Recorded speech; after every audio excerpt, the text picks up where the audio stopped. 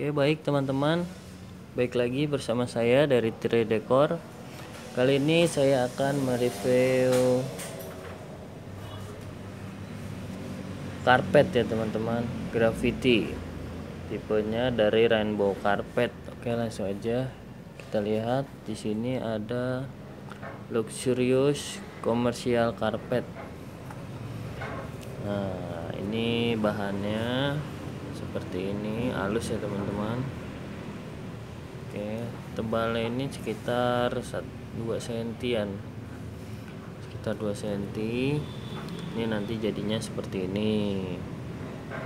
Untuk di perkantoran atau di ruang meeting biasanya. Oke. Seperti ini jadinya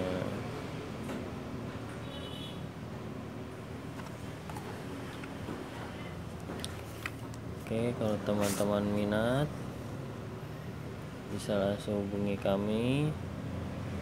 Kontak dan alamat kami ada di deskripsi. Oke sebelumnya terima kasih